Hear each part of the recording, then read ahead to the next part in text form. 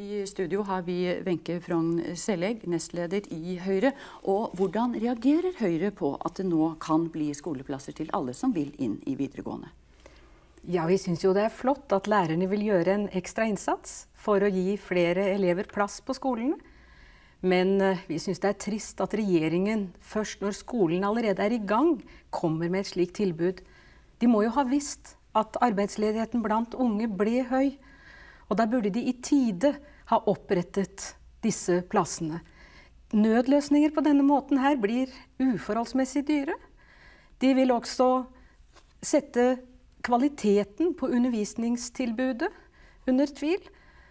Og vi synes også at planleggingen av disse plassene nødvendigvis må bli dårlig. Ser du på dette som et valgkamputspill? Ja, det er det jo ganske sikkert. For Stortinget ba jo regjeringen allerede i vår om løpende å vurdere utviklingen og i tide opprette plasser. Når de kommer med det først nå, så er det fordi de løper etter problemene her, som på så mange andre områder. Men det er jo positivt at uh, dette er med på å redusere den høye ungdomsarbeidsledigheten. Ja, og det synes vi er veldig bra, og vi vil naturligvis støtte dette tiltaket nå.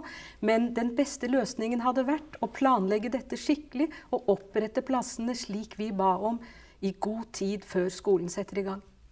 Takk til deg, Wenche Frogn Sellegg.